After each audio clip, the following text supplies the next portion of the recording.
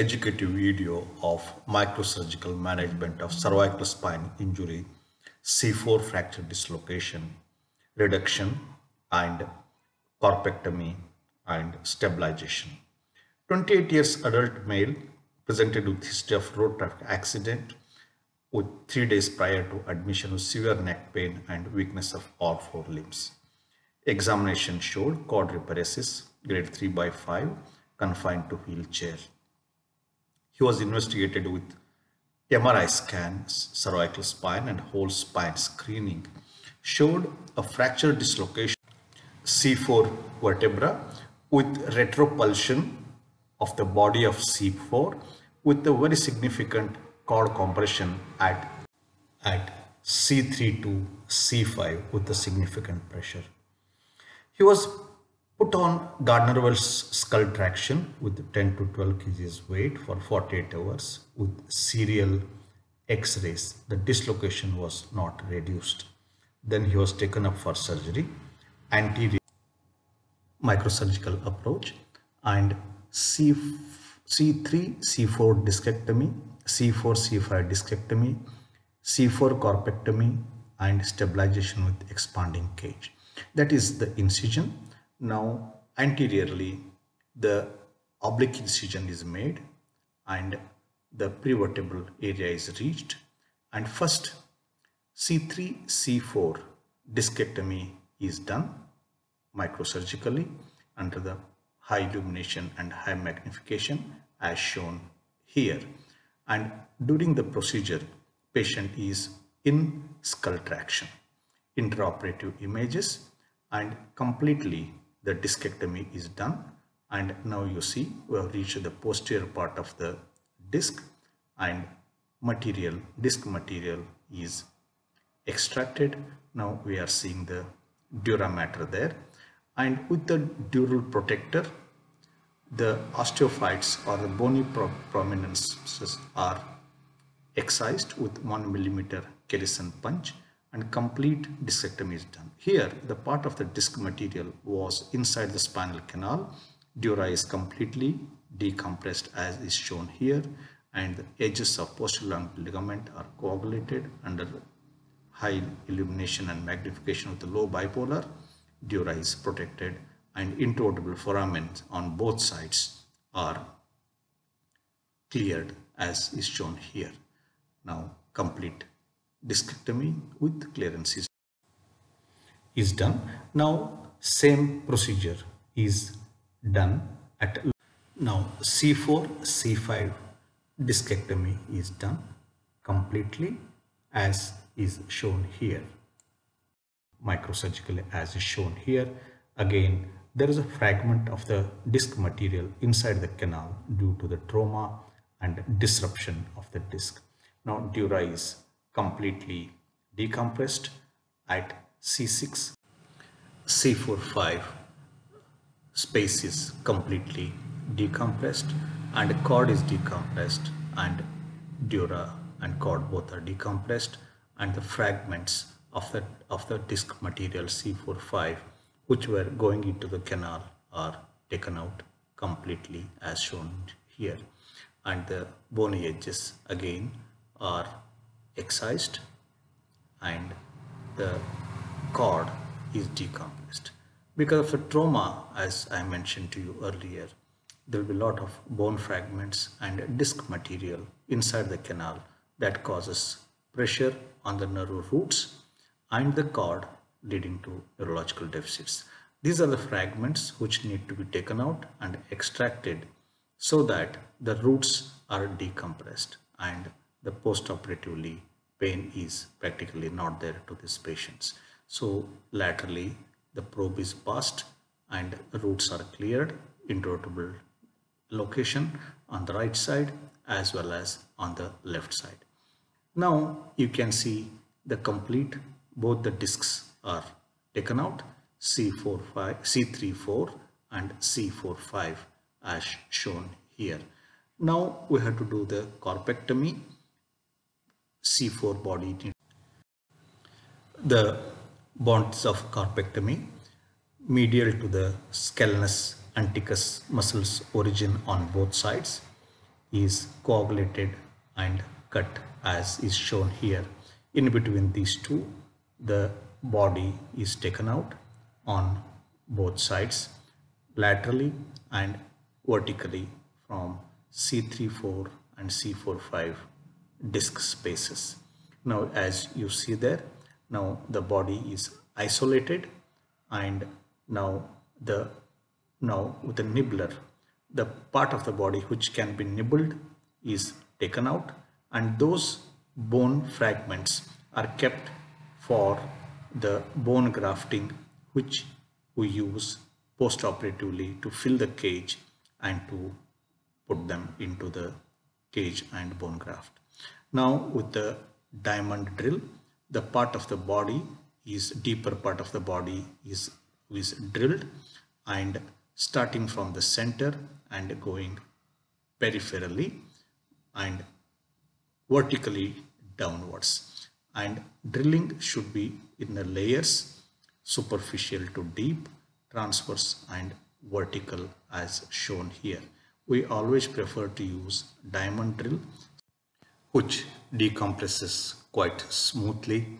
Heat generation is less and soft tissue injury if it slips is less. Now we are going deeper and deeper as you uh, see there. The lateral part on the left side and right side both are drilled. On the left side the bone appears to be angulated lateral displacement going anteriorly more on the left side as compared to the right side. Now it is drilled all around anterior posterior and lateral completely. Now you see that the now once thin plate of bone is left we use a Kerrison punch 1 millimeter 1 millimeter the bone thinned bone is removed now you see the lateral part on the left side appears to be quite loose and it is moving during nibbling now thin sheet of bone is left and further it is drilled and thinned out so that we can remove it without any problem. Now that is the deepest part of the vertebral body which is being decompressed with the diamond drill and thinned out as much as possible at the same time not crossing the boundary of posterior longitudinal ligament. Now it is drilled completely lateral to till a thin film of bone is left posteriorly on the dura. Always we must take care not to cross that boundary. Once we know that a thin film is left, then we take a micro bone scoop and the bone is scooped up. Every stage you take an x-ray, intraoperative fluoroscopy and see where we are and what we are doing. That's really of great help and safe to the patients. Now you see the thin film of bone is being taken out with the microscope, bone scoop and the 1 mm Kerrison punch. One must remember all the movements here are away from the dura, away from the dura on all sides. This is of utmost importance. And this one millimeter micro scoop is um, a micro scoop is one millimeter so there is no problem uh, it causing the dural injury. Now you see there the the bone which is impinging on the dura mater on the left side is scooped out completely and the lateral to lateral and superior to inferior complete dural uncovering from the bone needs to be done as shown here. Now you see that the bone is scooped and this bone appears to be densely adherent or stuck on the dura on the left side. So it is drilled more onto the left side and that part of the bone which is significantly pressing on the dura on the left side is taken out.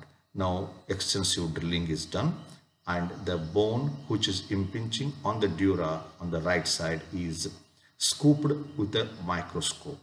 Now you see complete superior to inferior and lateral to lateral, the dural decompression is done and there is a thin film of bone on the left side that also is removed with the micro scoop as shown here.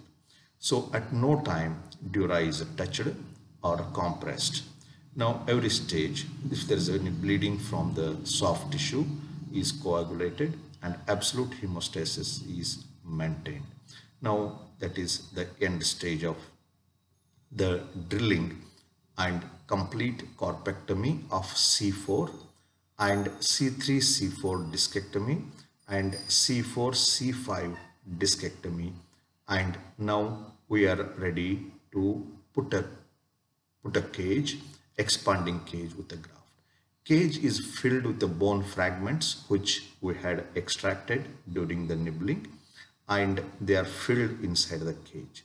Now once the cage is placed it is expanded. The knob on the on the surface it can be rotated and cage will get expanded. Now we are expanding the cage. Now before we completely finally fix we cover the dura mater with the Spongostan or gel foam and so that the any small ooze is prevented and the cage is placed. Now you can see it is filled with the bone. And it is placed in the center. At this stage again you take an intraoperative fluoroscopy to see that we are not oblique or on one side. It should be perfectly placed in the center and, and the cage is expanded by about 1 to 1.5 millimeters is expanded so that it fits snugly. The sharp, sharp uh, ridges on the surface of the cage, they hold the bone snugly and tightly. Now we are ready to fix it with the screws. One must see that the screw plate is on the center of the bone and not on the edge of the bone. So once you confirm it fluoroscopically you are in the center of the bone, the screws are placed. Now when you place the screws again, we usually direct them medially, not laterally. Always they should be directed medially so that they, they, they sit inside the body and don't go outside the body laterally. That the direction of the putting the screws should be medial as shown here. Now both the screws are placed. We have a screw guard on every cage. Once the screw is completely tightened the guard comes out and holds the screw so that the screw doesn't eject out due to the movements of the spine during the normal course of life. So that is the both the screws are placed and the guard has come out so that screws don't eject out later on. Now that is the upper part both the screws are placed. Now the lower part similar procedure is done. Again the screws are placed lower part and and they are directed medially on both sides so that they don't go away from the body. So direction of putting the screw should be medial as is shown here and it should be center of the body not at the edge of the body either superior edge or inferior edge. It should be the center of the body which is usually commend commendable. Now you can see the left side screw is placed and the, the, the cage is very nicely fitting there and this is the right side screw is placed. As I mentioned to you earlier till the screw guard I holds the comes out and holds the screw in place so that they don't eject out. Both the screws are placed perfectly and the central screw is placed so that the, the screw doesn't, the cage doesn't come down. Intraoperative fluoroscopy is confirmed. Now sides of the cage are filled with the bone pieces, bone fragments which were taken out during the nibbling of the same vertebral body in the initial stages. They are placed on both the sides and covered and they are covered with the Spongostan gel foam so that they don't come out. So later on they create a bony fusion at that juncture. Now you can see the filling of the bones fragments on the both the sides. This is the end stage of surgery. Now cage is fixed snugly and the wound is closed. Patient continues to be on traction for 48 hours to 72 hours. Now you can see the power has improved and his leg movements are perfectly normal, almost grade 5 post-operatively on day 2. The traction is still on and on third day we repeat an x-ray, a CR x-ray at the bedside and see that the graft is placed well and it is it is fixed well then on third or fourth day we take off the traction. This is an x-ray post-operatively which we did. And once the traction is out on day three patients is mobilized with physiotherapy and starts walking. He is absolutely normal. Power is five. It was three. Now it is five. Distal movements are normal. That is our neuro anesthesia team. Our presence online with more than 435 microsurgical, endoscopic, navigation guided, educative neurosurgical operative procedures online on YouTube, our channel. Thank you very much for